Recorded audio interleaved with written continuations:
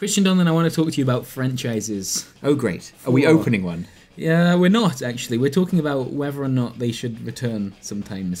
so you might have seen this week that we uploaded a video entitled "Tony Hawk's Pro Skater 5 is a glitchy mess." That sounds good. That sounds. Po- I, we like it then. No, we don't like it, and we picked that title because Tony Hawk's 5 Pro Skater, I said the name wrong, is a glitchy mess, and that kind of got a few others thinking about whether or not Tony Hawk should ever, ever have come back. Not the person, but the uh, the video game franchise itself. Uh, Because yeah. there's a lot of that this year.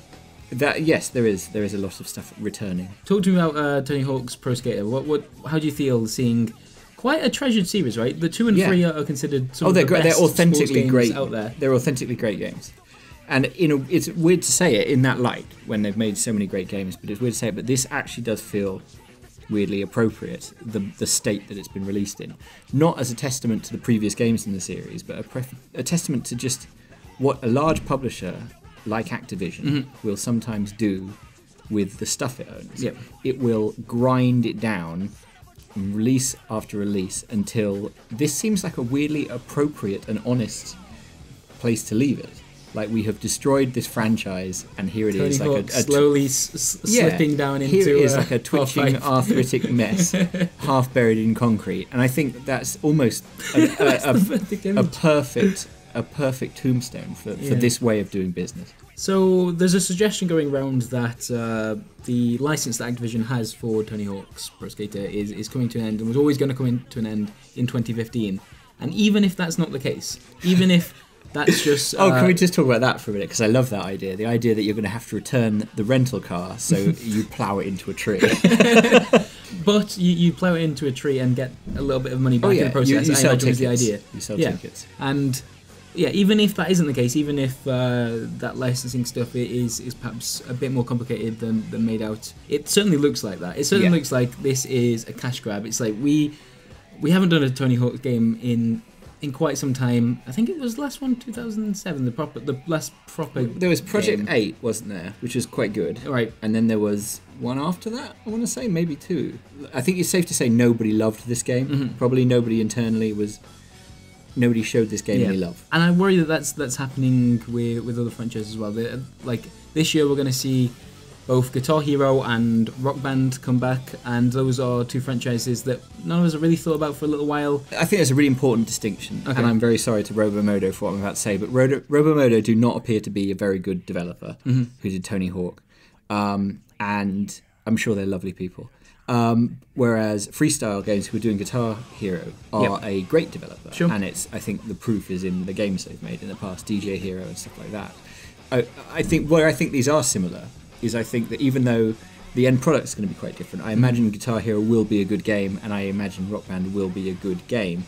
I still don't think there's any actual reason to bring these back. I don't Sure. sense anyone wanting to return. I was talking, we were talking about this in the office today, and I sort of assumed that everyone was quite embarrassed about that period. Looking back, you know, the period where everyone's house was full up with plastic crap, and it, I, don't think know a lot if of houses out there still are. I, they still are, but I don't think people want to return to that. I, my feeling is there's no more appetite for that, and it's like when you look back, it's like Martin Amis talking about the 70s and, the, and like all of the clothes he used to wear. Uh, It feels like that. It feels like we're going back to like I'm not sure. I'm not crushed sure. velvet loon pants. I don't know if that's true. To me, there might, you know, the nostalgia counts for a lot. There are going to be. are you a saying new that, console? Are you saying that Rock Band is not our crushed velvet loon pants? I think that's exactly what I'm saying. Yeah. But the the difference I wanted to point out between those those two games, um, I, I think the motivations for bringing both of them back are probably quite similar. But Rock Band seems to be doing it in a way that I'm a bit more comfortable with. So it because you know it's the the audience there is going to be people used to play Rock Band, yeah, and with this with Rock Band 4 you're going to be able to use the old instruments. It's also going to respect the DLC purchases, the songs you purchased in the past. Whereas Guitar Hero, you sure it is trying some new stuff with the kind of live performance stuff, Yeah. which I'm not completely sold on myself. Or whether some people might be, but you're buying new instruments for that. yeah. That bit is where it starts to feel a bit more like the situation with Tony Hawk, where it's like, are you bringing back for any other reason than to to make money? What do you want to do here? I do, yeah, I think in the boardroom level, I don't think there's any love for these Okay. things, uh, and, and I think people can tell. I think the the difference now is going to be as good as freestyle are, and as good as their game is going to be. I think people can tell this is coming from a place where it's a spot on a, a spreadsheet. Mhm. At least I hope they can tell because I think it is coming from that space. Honest, from the reaction that I've seen to Tony Hawk's, I think most people are leveling this at the feet of the publisher. I don't know Yeah. how fair that is. I mean, we don't re- No, exactly we don't know. know. how I mean, but you can certainly say the impetus Yeah. and the go no go decision will have been the, the Sure. publishers. They will have been the ones who go, no, this is this is all right. You know, he's not glitching too badly, and it's kind of charming. So send it out the door. It worked for Skate 3. It did, the crazy thing is, it did work for Skate 3, and this is really interesting. The Skate 3 is authentically glitchy to its lovely physics. what the hell does that core. mean? What's authentically It glitchy? it's glitchy all the way down. Right. Whereas my understanding is that Pro Skater 5, Yeah. once you take away the odd dodgy animation on corners and stuff like that, it's actually just a boring game. That the glitchiness isn't even that exciting. It, it's not even glitchy, right? Right, man. I don't. That's that is an interesting way to sell a game, but I mean, it did work for Skate 3. Let's let's. Yeah, oh yeah, Skate 3 is. And Had- Skate 3 has a lot of fun. People have a lot of fun Yeah, definitely. Skate 3.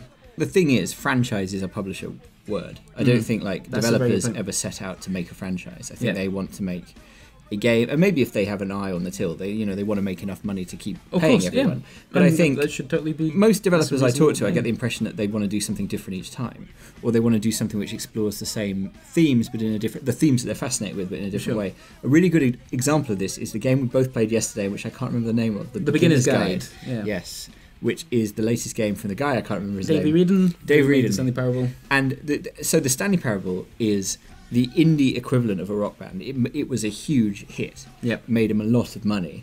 An Um, unexpected one. I An unexpected well. hit, but still a huge hit.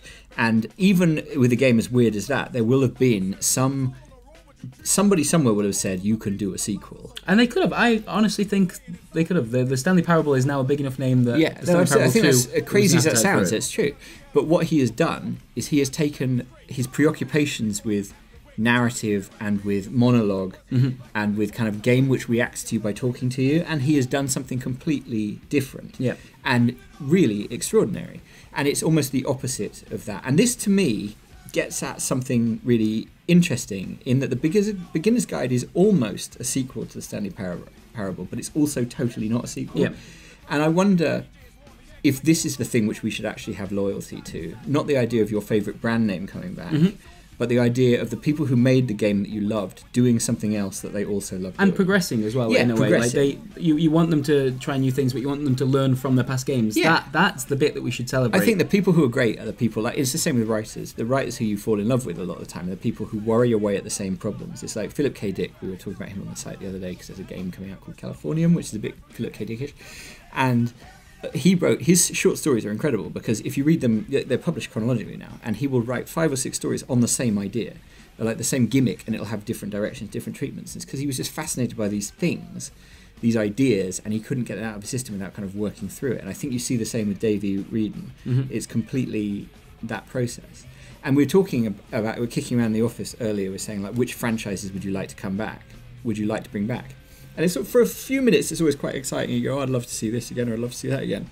And then you think, actually, no, I don't really want another From Dust game. What I want is another Eric Chahi game, who made From Dust. I want to see what he wants to do next because I didn't know that I wanted From Dust before he made Sure. it. What I what I'm what I'm buying into, my loyalty isn't for any IP that Ubisoft has. It's Another for it's for Publisher word that. yeah, another publisher who is not against doing these sorts of things. Oh no, I said IP, another publisher word. Oh, of well, course, right? yeah, yeah, yeah, absolutely. But like one thing, uh, so it's really interesting to talk about Ubisoft because um, From Dust is a one-off, and there won't be another one. And it was Eric Chahi's project. He wanted to do it, and he did it. And I recently spoke to the Grow Home people, who I know I talk about all the time. But I said to them at the end, I said, I'm really. This is a weird question to ask, but I liked your game so much, I almost don't want to see another one.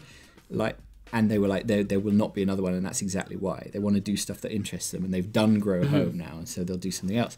That's the sort of thing which I think publishers could be sort of doubling down on. It's a much harder sell, Yeah. but it's also you get better stuff. I think, to be honest, there's probably a middle ground to be found here. Uh, if- Oh. If, if we're gonna if we're gonna be Oh. realistic about this, because we've both given some very uh, idealistic answers there. Oh, yeah, no. basically the, the, it's a reaction to the the other extreme, which is what we've seen this week with Tony Hawk. Oh, so are you saying the middle ground? I think the middle ground is what you what you sh- what we should say is then Sid Meier represents the middle ground. The rule of three on Civ.